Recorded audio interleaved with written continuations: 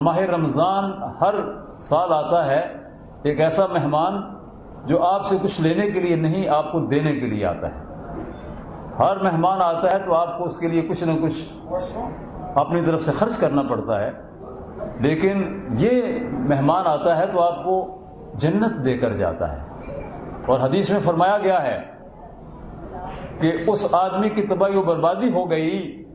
पूछा गया यार रसूलुल्लाह, किसकी आपने फरमाया जिसकी ज़िंदगी में माह रमज़ान आया और माह रमज़ान से नेकियों का ने, ने, नेकियों के साथ अपना दामन भर के वो जन्नत का मुस्तक न बना। नबी मेहरबान सल्लल्लाहु अलैहि वसल्लम फरमाया कि जब माह रमज़ान आता है जन्नत के दरवाजे खोल दिए जाते हैं। दो के दरवाजे बंद कर दिए जाते हैं। और शयातीन को बेड़ियाँ पहना दी जाती हैं। बाज़ात लोग कहते हैं कि शैतान तो फिर भी अपना काम करता रहता है। शैतान उन लोगों पर अपना काम नहीं कर सकता, जो अल्लाह की तरफ़ रुजू कर लेते हैं। जो अल्लाह की तरफ़ रुजू नहीं करते, वो तो शैतान के हिज्ब के अंदर हैं। और उन पर वो क्यों ना काम करेगा, वो तो उसके हिज्ब के अंदर शामिल। होगा हिज्ब शैतान। अल्लाह इन हिज्ब शैतान खासिरून। नबी अकरम वसल्लम के बारे में आता है, हज़रत सैयद आयशा सिद्दीक़ा रज़ी अल्लाह ताला फरमाती हैं कि जब रमज़ान करीब आता था, कानन नबी वसल्लम शुद्ध में हो।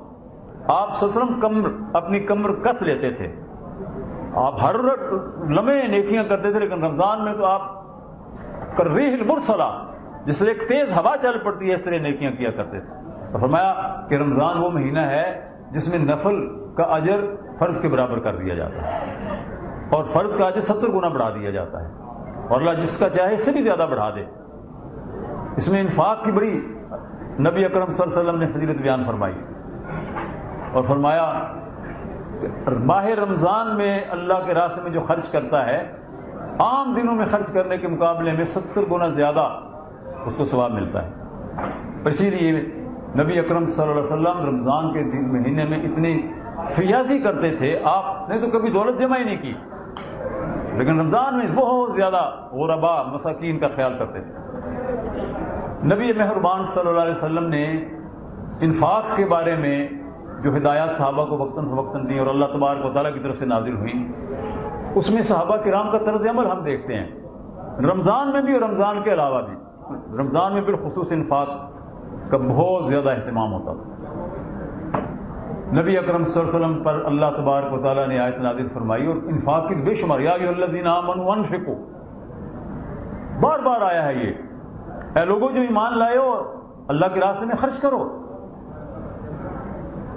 इन फिरू खिफाफम वसिकालम वजाहिदम वालिकुम फ़ी सबीलिल्लाह। अल्लाह रब्बुल ने हुक्म दिया कि हल्के हो या बोझल, मालदार हो या ज़्यादा माल नहीं है, मसरूफ हो या फारिग हो, ताकतवर तंदुरुस्त हो या कमज़ोर ज़यीफ हो, अपना अपना हक अदा करो अल्लाह के रास्ते में जिहाद का। जान से भी जिहाद और माल से भी जिहाद। अब सवाल पैदा होता है कि जिसके पास माल नहीं है, वो तो नहीं? ये कुछ कर सकता, ठीक है ये बात। लेकिन साहबा का जज्बा आप देखिए, जिन पर ये कुरान नाजिल हुआ था, जिन्होंने कुरान की तफसीर बन के दिखाया, उनकी जिंदगियाँ, क्या शानदार जिंदगियाँ हैं। ये आयत नाजिल हुई।